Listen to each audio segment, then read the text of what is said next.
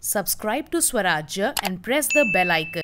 An extensive trial of indigenously developed automatic train protection system Kavach was conducted in the presence of Union Minister of Railways Ashwini Vaishnaw.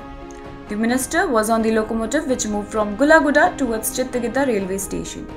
During the trial, a head-on collision situation was created as both the locomotives were moving towards each other and Kavach system successfully initiated the braking system and halted the locomotives 380 meters apart. The locomotive also did not cross the red signal as Kavach necessitated the application of brakes automatically.